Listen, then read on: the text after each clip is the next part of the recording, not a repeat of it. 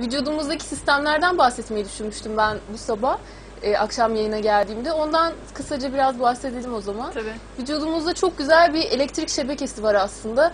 Normalde bir e, ülkeyi düşünelim. Bir ülkenin tek bir şehrinde daha önce örnek vermiştim. Mesela Detroit'te 2003 yılında bir elektrik kesintisi oldu. O elektrik kesintisinden dolayı e, alt bütün sulama sistemleri durdu.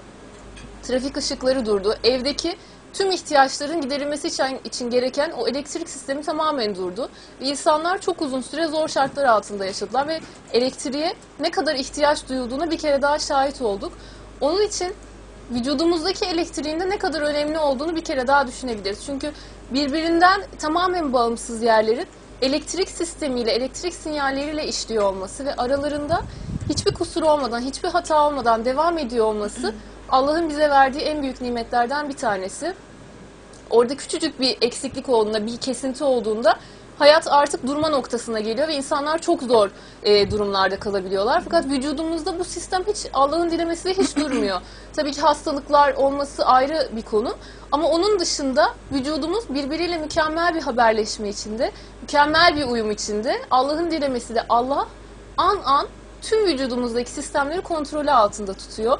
Tüm hücrelerimiz atomlarımıza kadar Rabbimize boyun eğmiş durumda. Bunun güzelliğinde o boyun eğmiş hücrelerimizin, Allah'a teslim olmuş hücrelerimizin de nimetini ve hissini de Allah Müslümanların vücudunda da hissettiriyor. Depresyon, sevgisizlik, huzursuzluk Müslümanlarda olmuyor çünkü hücreleri huzurlu. Allah metafizik olarak dünyayı yaratıyor. Bu şekilde hissediyoruz. Bu da çok büyük bir nimet. Birazdan devam edeceğim elektrik konusuna inşallah. İnşallah. İnşallah.